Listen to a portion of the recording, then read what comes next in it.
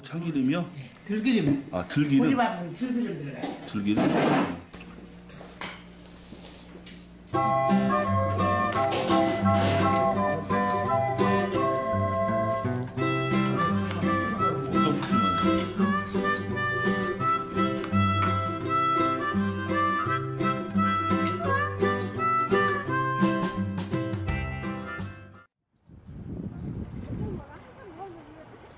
랄랄라랄랄랄랄랄랄라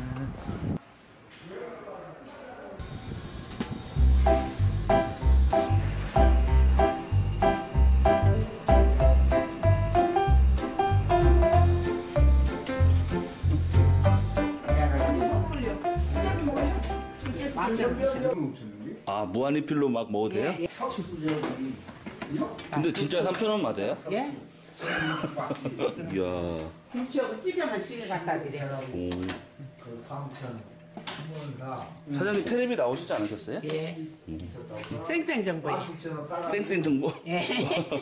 여기가 열무 7천 원 먹다 시금치 어? 또 나물 생채 콩나물 다, 다 거기 조금 들어가야 한 반찬. 네 그거 하는 거 그거 깨서 얼마 거기다 어,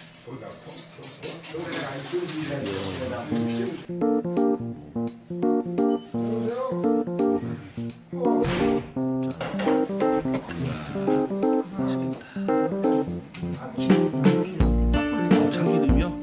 들기름. 아 들기름 보리밥은 들기름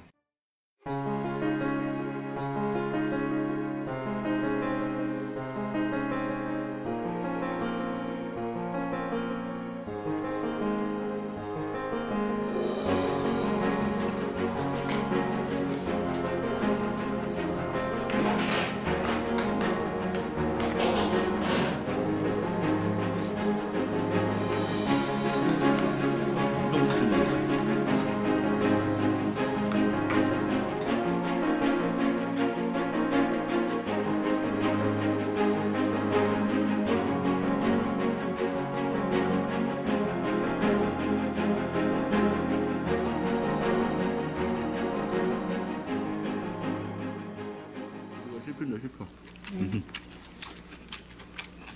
아. 어허. 아. 아. 아 진짜 고향의 맛이야. 음. 숟가락으로 또 맛있다. 음.